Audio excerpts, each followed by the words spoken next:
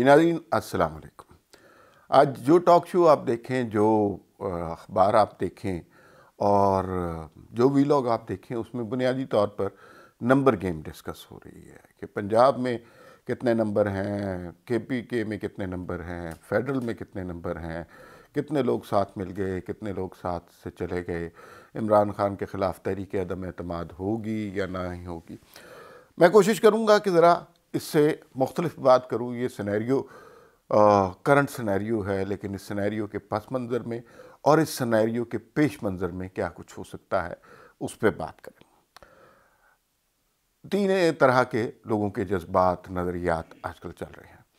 एक तो आ, ये है कि इमरान खान को जाना चाहिए।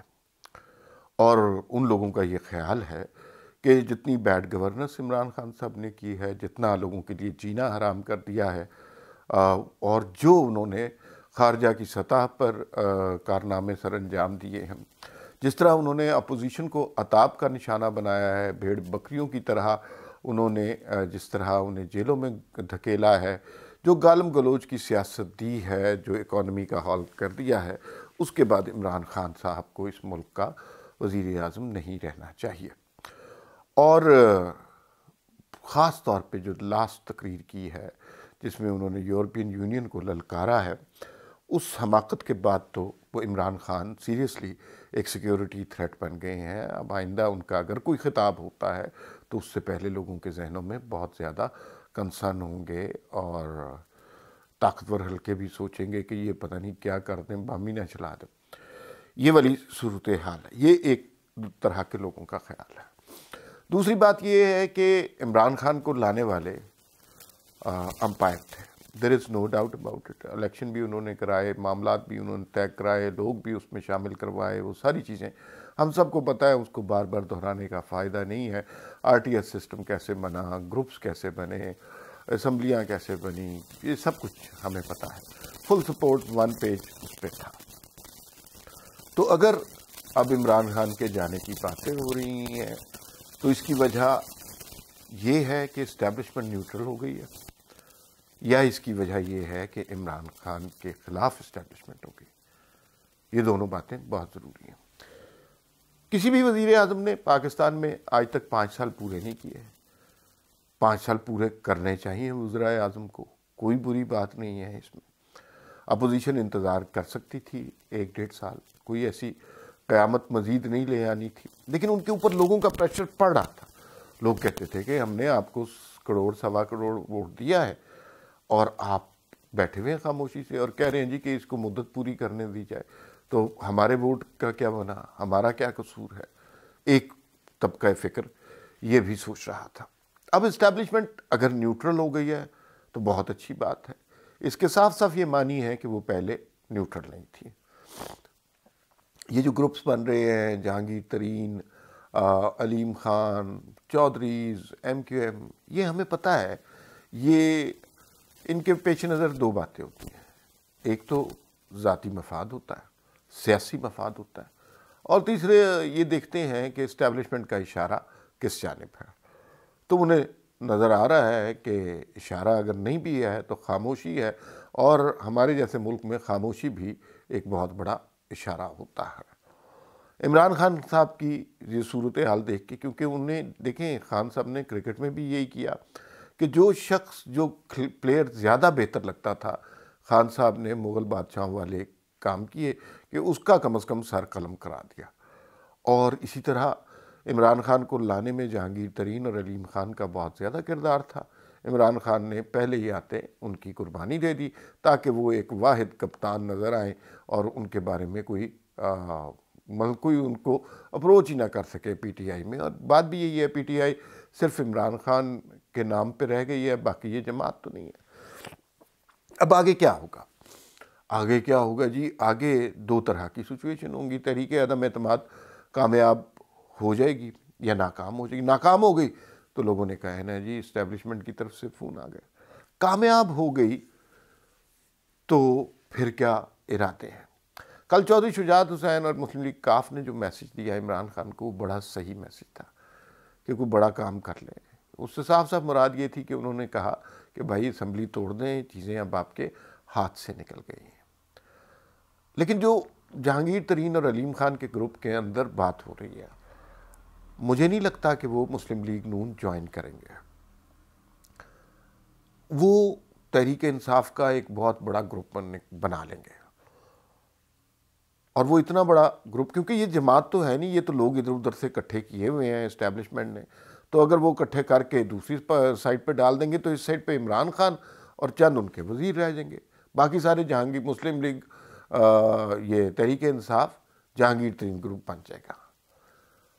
इरादा इनका ये है कि अलीम खान, जहांगीर तरीन, इमरान खान को तहरीक इंसाफ से निकाल देंगे। जमात वहीं रहेगी।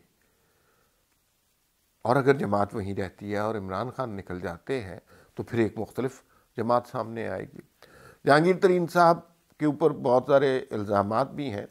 लेकिन एक बात है कि वो बदतमीज़ी और इस तरह की गालम गलोच वाली सियासत के कायल नहीं है। पंजाब की सियासत में वैक्यूम भी बड़ा हो जाएगा अगर तरीके इंसाफ बिल्कुल ख़त्म हो गई। देखिए, पीपल्स पार्टी का वहाँ वजूद नहीं है। इस सूरत हाल के बाद तहरीक इंसाफ का भी वजूद ख़त्म हो जाएगा। और फिर एक कोई नया ग्रुप होना चाहिए मुस्लिम लीग नून को चैलेंज करने के लिए। और कोई भी जमात इंडिपेंडेंट सिर्फ़ एक जमात नहीं होनी चाहिए। तो ये डेमोक्रेसी का हुसन है चैलेंज करना चाहिए। तो अगर अलीम खान, जहांगीर तरीन ग्रुप, तहरीक इंसाफ का एक अलहदा फैक्शन बना लेते हैं और वो अपोजिशन का किरदार अदा करते हैं मुस्तबिल में उसके लिए तैयार रहते हैं तो हमें ये एक अच्छी अपोजिशन मिलेगी। दूसरी सूरत यह है कि ये मुस्लिम लीग नून या पीपल्स पार्टी को ज्वाइन कर लेते हैं। उस वक्त नंबर गेम इमरान खान के हाथ से बिल्कुल ही निकल गई होगी। ये सारी सूरत हाल मैंने आपको इसलिए बताई कि मुख्तलिफ़ किस्म के नज़रियात हैं। लोग मुख्तलिफ़ किस्म की बातें कर रहे हैं, लोगों के अपने अपने नुक़ नज़र हैं। और ज़रूरी नहीं कि हम किसी नुक़ नज़र को गलत ही कहें। सब कुछ सही है। अहम बात मेरे लिए ज़ाती तौर पे ये है कि तहरीक अदम अतमाद बज़ाहिर लग रहा है और इसमें अभी बहुत ज़्यादा शकूक व शुभात है कि नंबर गेम इमरान खान के ख़िलाफ़ होगी। तहरीक अदम अतमाद हो, कामयाब हो जाना अहम काम नहीं है। क्योंकि इमरान खान वैसे भी इरेलीवेंट से बंदे थे। उनको सिर्फ़ वज़ी अज़म रखा गया था। उनको वज़ी अज़म के इख्तियार कभी भी नहीं मिले। तो उनको निकाल देना कोई इतना बड़ा कारनामा नहीं है। सवाल ये है कि इसके बाद क्या होगा? कुछ लोग कह रहे हैं कि जुलाई, अगस्त में नए इलेक्शन मुतव हैं।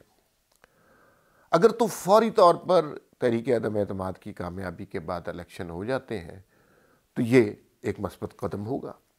इसलिए कि फिर आवाम के पास जाएँगे और जिस पार्टी की तैयारी होगी, जिस पार्टी ने अवामी सियासत की होगी, लोग उसको वोट देंगे। इस्टेब्लिशमेंट अगर न्यूट्रल रहती है तो बहुत अच्छा है। लेकिन हमने माजी में देखा इस्टेब्लिशमेंट कभी न्यूट्रल नहीं रहती।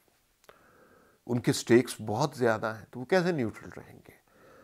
तो कहीं ये ना हो कि ये एक झांसा दिया जाए सियासतदानों को, और उन्हें कहा जाए कि इमरान खान को हम घर भेज रहे हैं।